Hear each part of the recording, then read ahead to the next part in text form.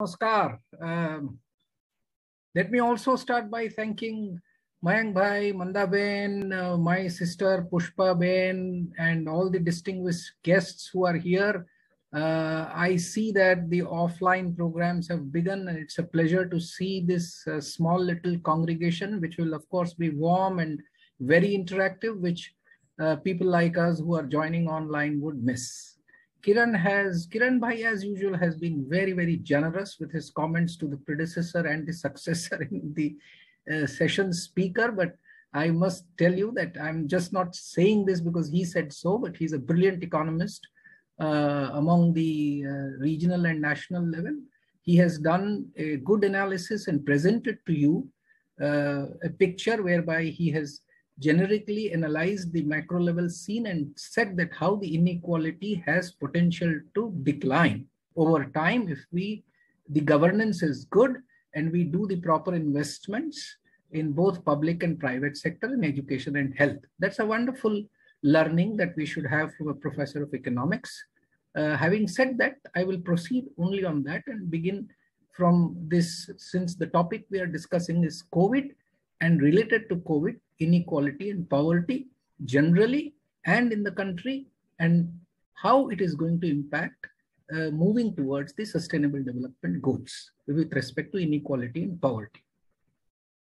At the outset, I think it's understood and admitted now, and it will further come by way of uh, my friend economists and others who will work on this and produce Lorenz curves, not only for this country and the region, but maybe also internationally and find that economic inequality as it is measured by the Lorenz curve has skewed and increased. And there is a reason for that. And definitely in India also, there are anecdotal evidences which tell us that inequality is likely to increase as COVID settles down, third wave, after third wave, or whenever the economy comes back. For this period, I think many analysis will come. It is too early to say. Intuitively, it appears that inequality is going to increase to an extent. Now, whether it is faster than otherwise in the normal situation, non-COVID situation is difficult to say. However, COVID did have a dent and impact on inequality and it will increase. Reasons we all know and I will also discuss some.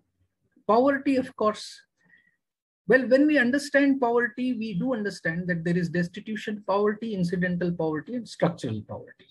I think 90 onwards, 1990 onwards, when we opened up, we brought the privatization, liberalization, and globalization. There was definitely a move towards reducing the poverty in the country. And we did note that significant levels of poverty came down in this country as well, because let us restrict it to our own country. This is known as structural poverty. So we impacted on structural poverty. COVID is an incidence. And incidental poverty is like flood, drought and severe pandemics, epidemics are known to impact economies because the labor force is affected, production is affected, and therefore you suffer because your GDP falls. And when GDP falls, obviously the share of this GDP which goes to the poorest of the poor who are either on threshold or below that or above, little above that, do take this impact and fall into poverty. We have seen how laborers migrated back, how the economy was completely closed. We have a large informal sector where the employment is day to day. And if you don't work for the day, you don't get food because you can't buy food. We all tried, civil society came forward, state came forward to provide reach food to people who were losing their jobs, who lost their jobs for a longer period. It went well for some time, but it could not do so for the longer time. And we saw that people who returned back to their villages, despite increase in allocations of Manrega, all could not really survive well because they didn't get work. So incidental poverty, if whenever, I don't know whether NSSO have, would do special rounds or it may have done, whenever we'll see the results, we will see that incident poverty levels for the time period would have gone up. This is incidental poverty. Now it is against this backdrop, obviously when poverty and inequality are adversely affected, SDGs will be pushed back because by 2030, as someone was saying in the previous session, where Professor Vidyut Joshi was speaking, so I think somebody noted that uh, clearly, very clearly, admittedly, the SDGs, I think it is the person who was, who, who was part of consultation in a big way, he was saying that yes, it is already admitted that in the developing and poor countries, SDG achievements by 2030 is almost an impossibility and it will be pushed back. This lesson we learned even without pandemic after the uh, MDGs. Not surprising because of the nature and the structure of the economy we have. So this is not surprising. And I am going to deal little with this and then shift why if we tried or if there is still a scope to try what Gandhi was trying to tell us, do we have a potential and a scope to reduce inequality and poverty, not only in this country, but also among the humanity? It's a larger question. But coming back to present situation, for which Kiran Bhai presented a wonderful analysis, he did say that capital investment in health and education is going is the key how we will improve the human capital and in turn human capital will has a tendency to reduce the economic inequality which is true which is an understood fact in the developed countries. However developed countries today also due to pandemic deny this. It has not happened even in developed countries evidence is already there it is quite an anecdotal evidence but i'm sure with data it will be supported that during pandemic, even in the developed countries, economic inequality has increased concentration. Governance is central point. And in governance, I think the basic issue is this. Humanity with all its brilliance and distilled wisdom has settled still on representative democracy. This is the best thing that humanity has ever achieved in the enlighten, enlightenment project of the humanity in the West, which began in the West, which is now, of course, spreading all over the humanity in every country. Representative democracy is something that we all appreciate, and this is what where we have reached. However, representative democracy also has its, its limitation, and political scientists will tell us what they are. Now, when the economy disengages from state controlled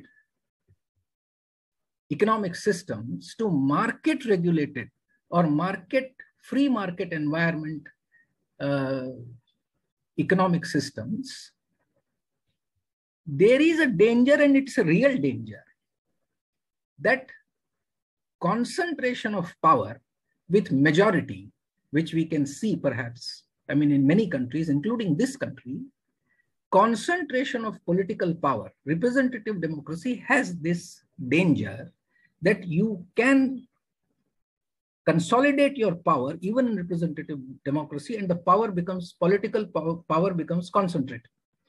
With this, when you have an open economy, it is open only in theory. In practice, I am fond of now saying that state oppresses and market manipulates. Now the state operation and market manipulation actually result in unholy nexus of state and the market both. Now it is this cause that causes concentration of wealth in few hands. This let us understand very clearly. COVID or no COVID? COVID, COVID is a name, basically any epidemic, pandemic. When temporarily allocations change fast, who can respond best? Small pharmaceutical companies or large pharmaceutical companies? Pharmaceutical giants or pharmaceutical pygmies? Obviously, pharmaceutical giants would be more advantageous in the short run to expand their capacities, produce more and charge monopoly prices, monopolistic prices on the product, both from the state and from the consumer, straight. This has, this would happen and all the backward and uh, forward linkage industries also would reap this kind of benefit. And whatever other infrastructure development takes place, even in there, the players are going to be those who can do it fast and those who have already got resources, they would do it faster. So they would amass more wealth. Very simple. So this is where we are. So let's not be surprised.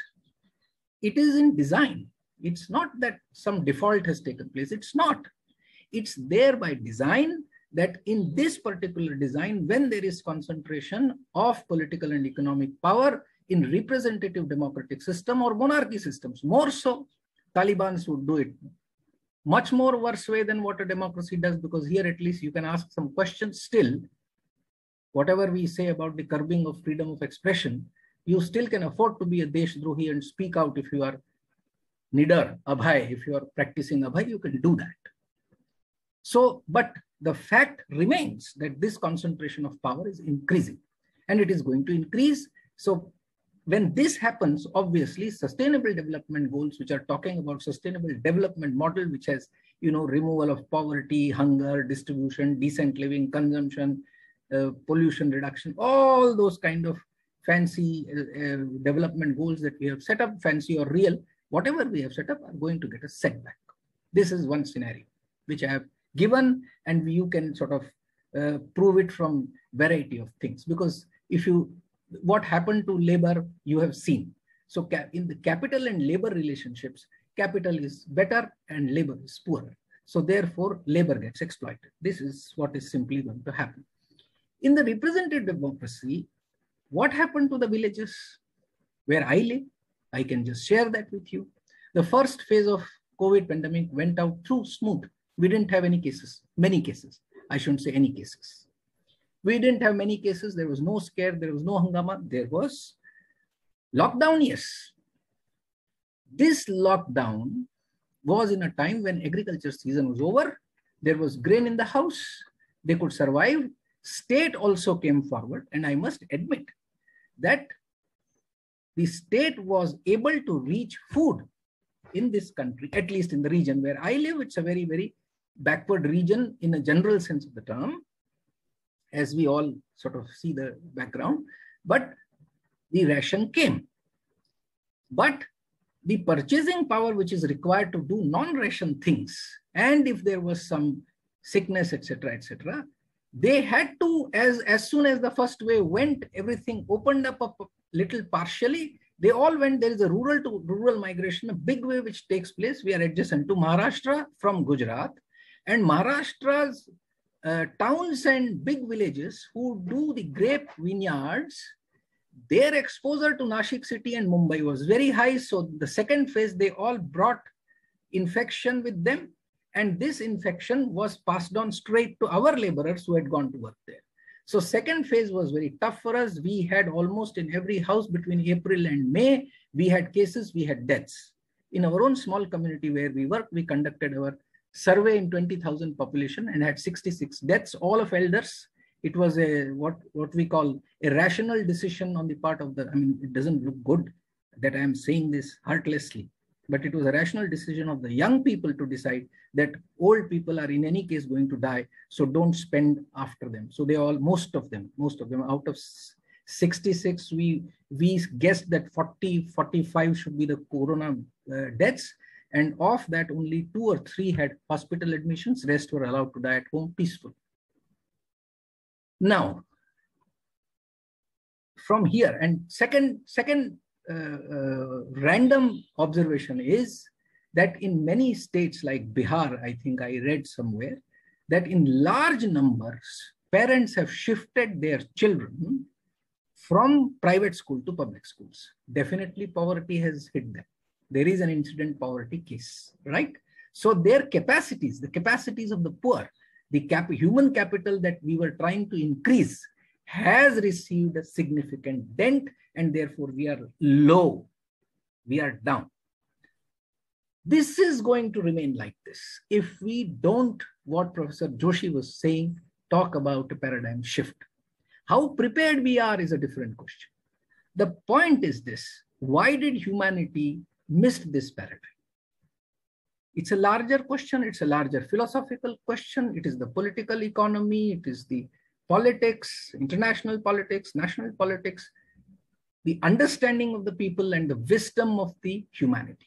Wisdom of the humanity still believes by and large that the best development, creativity, etc., is possible under the free market system with minimal state or state helping to do it in terms of infrastructure, blah, blah, blah, blah, all that. And of course, with a DBT, which we have come and settled, at least that's a very rational approach rather than pushing out you know things to give them. You do direct bank transfer put cash in the hands of people and they can at least choose and prefer whatever they want to buy. Which is a, a very rational and uh, wise thing to do. Having said that there is there is going to be a severe limitation. Us was able to pass down $10000 per person for the year and we can't do even $100 that's a reality because we're a poor country so even DBT has severe limitation because state resources, state uh, treasure also has a limited cash resource with it. Fine. What is the paradigm? The paradigm that we are talking about, I mean, if you're talking, if you're really, really serious about the sustainable development that we are talking about, then governance, regional, national and international governance through representative democracy and unholy nexus between business and polity, forget about sustainable development goals. You will achieve to some extent it. I'm not saying that you will not achieve something. You will come up with any other, UN will come up with some other program which will now say not sustainable, but sustainable, sustainable, or whatever they want. From millennium development, you can to sustainable, and from sustainable, survivable. I don't know what they will do. That's not the concern. The concern is this. What is it that this person who thought differently had to say, which is Mohandas Karamchand Gandhi, this person had an idea which doesn't click with the rational intellect of the humanity, especially the rational intellect in among social scientists, economists, policymakers, bankers, etc., who, who want to run the economy, which is very, really very important part of survival of the human society and human being individually as well as a society. Now, Gandhi's paradigm, and of course, let us, if you look at his obiter dicta on what he wanted to say on inequality, I will very quickly read two, three lines. He says, I want to bring about an equalization of status.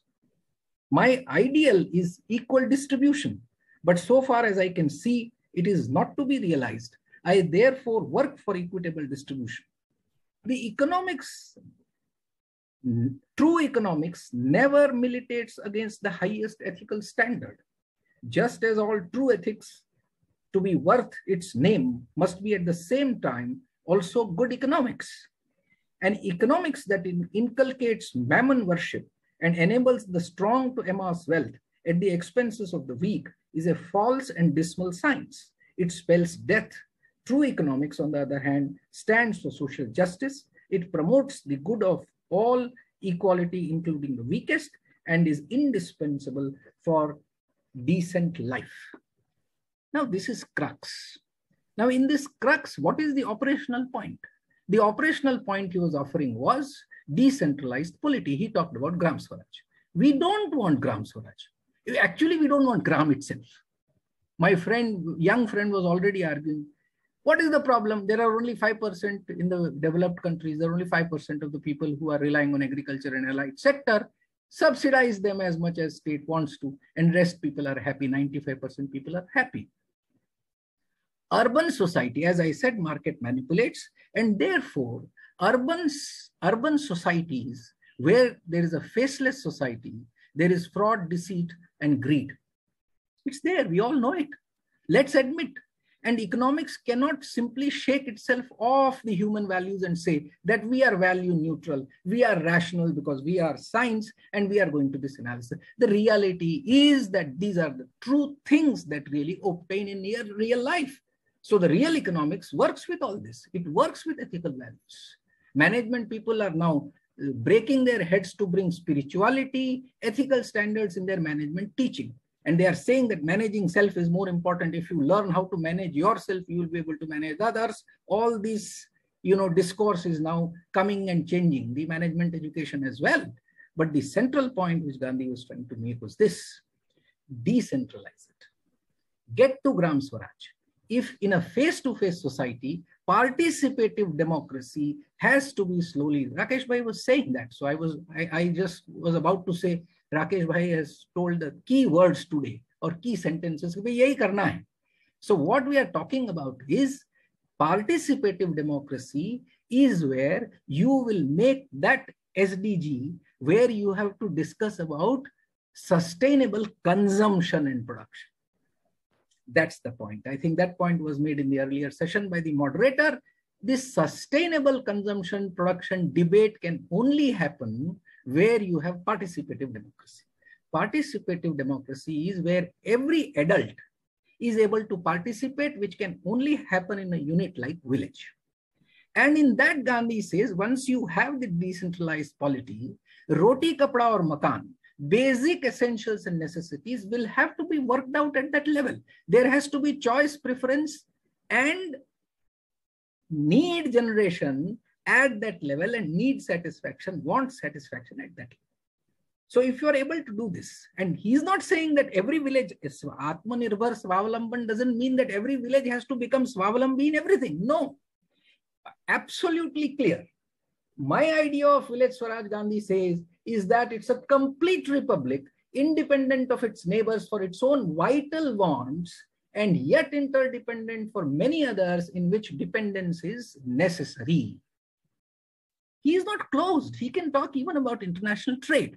The idea is the unit at which we must try the unit's viability, whereby we achieve individual viability as well. Now it is here where I'll be able to take care of your poverty. So what he's talking about is decentralized polity, which is participative democracy. Participative democratic decisions will decide the production and consumption and choice and preferences. कि भाई रोटी कपड़ा और मकान मैं सिर्फ neighbour से ही लूँ I take it from my neighbour I will not buy it. I, the Peter England shirt is very good, but thank you. Let Peter England England people should use. I will buy my Manu Bhai's shirt who's producing in the neighborhood.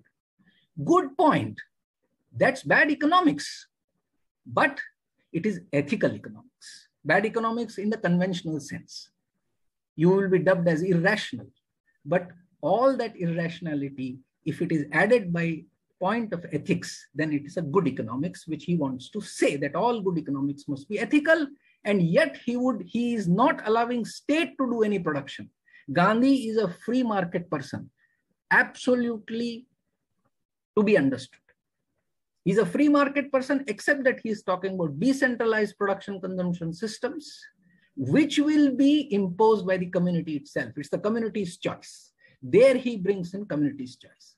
If you do this, then what would have happened? My farmers, if they were roti kapda or makan, they were satisfied, they would not have gone to the vineyards of Nashik or to the town. And they would not have brought COVID with them. As they were safe in first phase, they would have been phase in second phase. It's not only COVID that I'm talking about. Rural areas, by, by, by general this thing, rural areas, the incidence was relatively less than the urban areas because urban areas are more dense where catching of infection is always fast or any infectious disease spreads faster in urban areas, it's well known. Two, curative practices were so exploitative in urban areas that even the middle class lost its savings. This is true. So if you look at this whole model, then we have not given a chance to this Gandhi's idea, Gandhi's paradigm of talking about participative democracy and decentralized production system. And I can go on telling you Swadeshi and all that.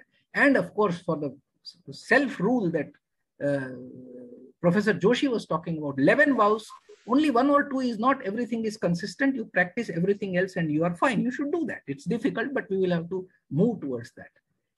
That itself, solving the problem at that unitary level, which is village, you can then go on advancing at a higher level and achieving of SDGs, whatever we are trying to do, because what will happen is when you scale down your production to that level, you are reducing fuel consumption, fossil fuel con consumption to a large extent. Today, I am getting rice from Punjab in my ration shop. Why should I do that? Even in representative democracy, we have been foolish running our PDS system where Punjab's rice is carried to this place, which is uh, 1200 kilometers away. My own person who has very good agrobiodiversity, if I bought what they were eating, then there is a price signal given to them where state is buying then the production can go up and there is no they are not disincentivized against the free paddy or the you know low price paddy which is highly subsidized come from punjab and given to me in a ration shop here do you see this point that even representative democracy there are some areas on which we can work if we really think about decentralization in this sense because we have to in any case transit but our problem is that our discourse is very clear we don't want to transform our villages. We want to wait. We are in transition, not in the process of transformation. Transition is that all rural areas should be vacated and as far as possible, they must be dumped in urban areas. That is the paradigm and that is the discourse. Beware, let's beware, let's be clear. Do any amount of discussions you want to, but if you don't shift this paradigm, the larger discourse is this. Okay, so if that is the larger discourse, then as I said in the beginning, there is very small possibility that COVID's impact can be absorbed. It will definitely increase inequality, poverty will rise. Incidentally, it may come back again to the same level, but it will not go away. It's an aspiration issue as well. Poverty today is not only roti ki poverty. Every, everybody is eating some morsels. But my people have started preferring what is coming in the packages so Lay's chips are more fancy. For those five rupees, they will not buy their grain and eat. The choice is between this. So what nutrition they get, then you shout that there is purchasing capacity, yet there is malnutrition. There will be choices because that's the economy we are pushing. We are great in food processing. I am also guilty of that. I processed this in one district where I was saying value added, value added, value added, value added. So dirt added. That's the position what we can do at local level, we are trying to do at macro level, use all the fossil fuel that we have, and we want to transport that, create pollution, more pollution, more expansion, put more pesticides and uh, fertilizers, synthetic fertilizers into farm, kill the soil, and all that we are landing ourselves into a soup, which will continue. So I'm sorry for this broader analysis, but since you're talking about COVID and sustainable development goals with respect to inequality and poverty, I just tried to connect things. And if I have been able to do and sort of uh, persuaded to think, uh, especially those who are in the consultative process of plan planning at a macro level, since we are going to continue in representative democracy for long, if these things are brought, even through even in this representative democracy, like we did have Panchayati Raj institution revolution by the constitution amendments that we have, if we are able to strictly practice this, we, we have a way of doing it. And in that sense, education will come into public sector at the village level. And that village level education has to be vocational education. Gandhi's last gift was Nai Talim. He was working on hand, head, and heart, all the three. So heart education gave you values, hand education gave you skill, and head education gave you knowledge. Now, this is what we want to really do. And at village level, this is well done because you have land, you have livestock, whatever your resource is locally, you get skilled in that so that your productivity improves. You are able to be a self-employment or an entrepreneur within your own areas. You don't have to really go out. There are stories, but this is where I think I will stop. Uh, of course, I will be happy to respond to questions, if any. If I have exceeded my time, uh, I'm sorry. I mean, I was not warned about it. Rakesh Bhai has been perhaps liberal, saying यार, बड़े professor को रोकते नहीं है तो घंटी नहीं बजाई होगी, बजा देते तो मैं चुप हो जाता. Thank you very much excellent sir excellent excellent thank you so much and since we have only ten minutes left to the lunch है so any question if you want to address to doctor Iyengar और doctor Pandya please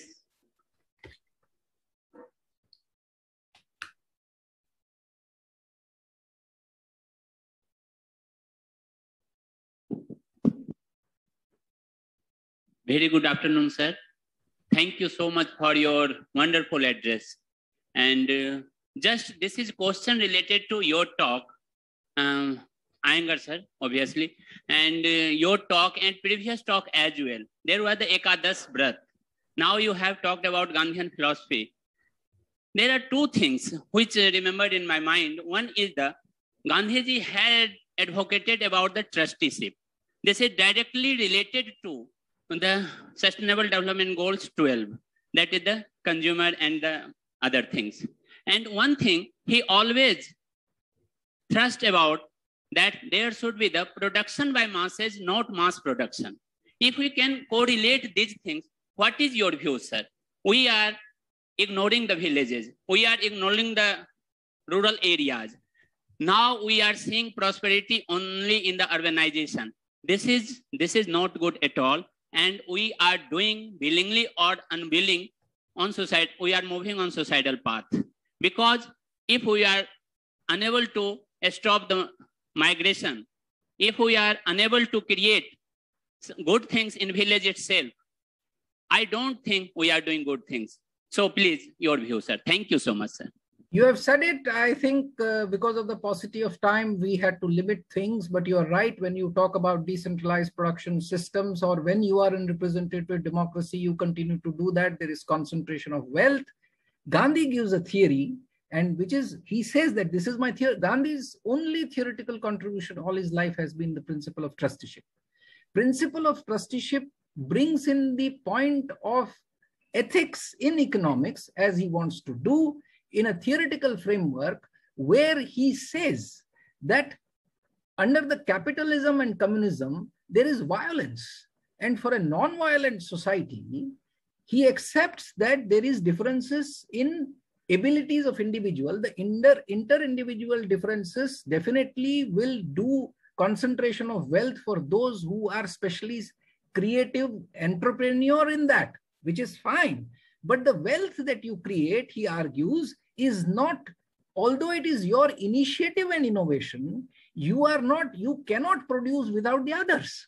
So therefore, in the profit, it's not enough, as we say in economics, to give to the factors of production and then reap the profit. He says that even profit is to be shared where human are involved.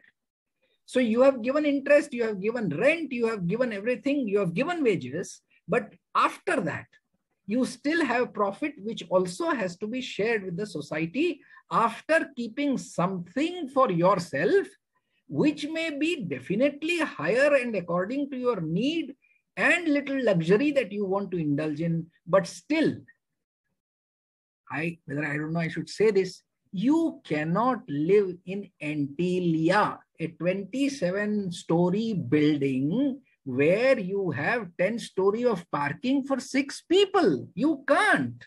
And if one does that, if the if you can't persuade them to trusteeship, the action point he said is civil disobedience, asahakar, and satyagraha. You are absolutely right. That becomes a political action.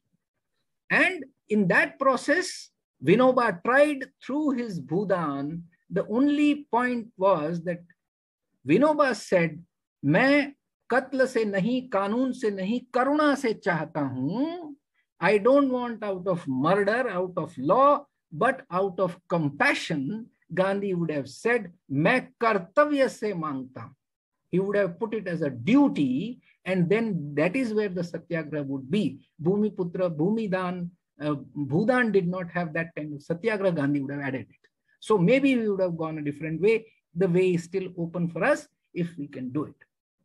But you are right. Thank you so much. Is the principle. Thank you.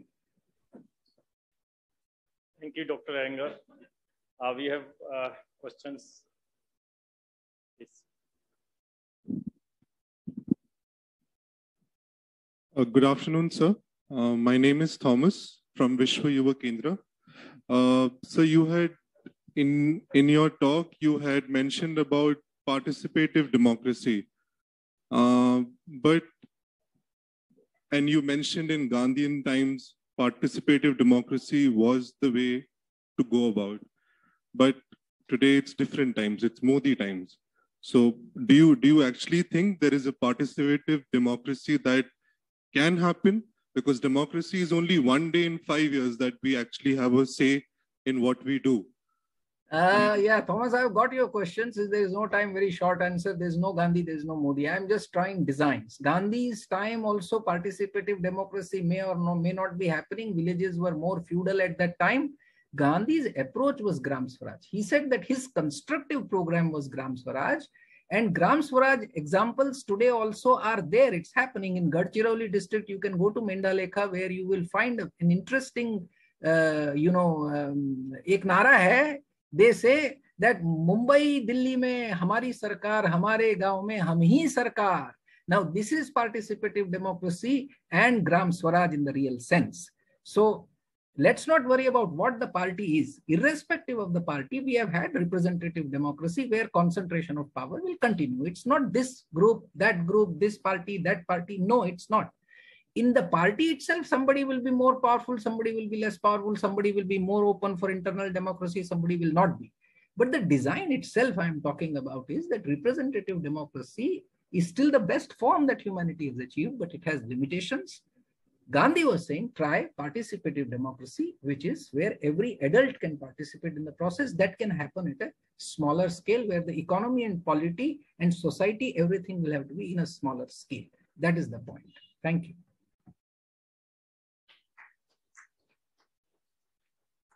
Thank you. Thank you very much for your